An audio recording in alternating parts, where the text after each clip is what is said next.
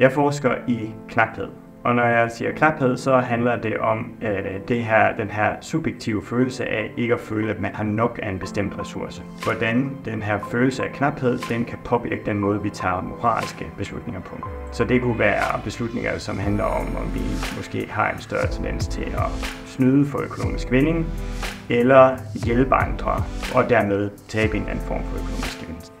Der er en stor litteratur, som siger, at den her knaphedsfølelse kan få dig til at være meget risikovillig, og det undersøgte jeg så i forbindelse med moralske valg, og der finder jeg, at øh, knaphed ikke får folk til at øh, snyde mere for økonomisk mening, øh, og det handler om, om det er sult eller mangel på penge.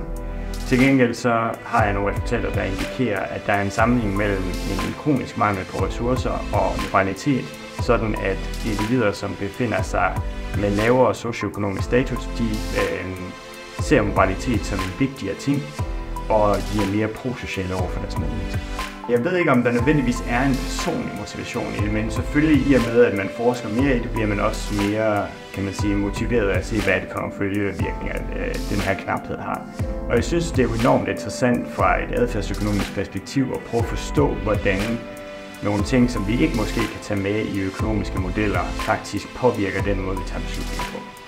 Jeg synes, det mest interessante ved forskningsarbejdet, det er sådan set hele den proces, der er i, at man øh, går ud i virkeligheden, ser nogle problemer og prøver at se, om man kan formulere dem ind til idéer og måder, man kan teste og eksperimentere med de her ting på.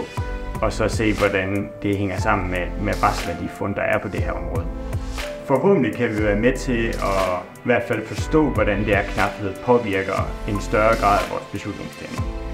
Og det er måske endnu vigtigere i fremtiden, når vi ser mange af de kriser, der er i verden i dag. Hvordan kan vi måske hjælpe nogle af de individer, som træffer suboptimale beslutninger som en effekt af knaphed, og forstå, hvordan kan vi faktisk være med til at, at hjælpe de mennesker.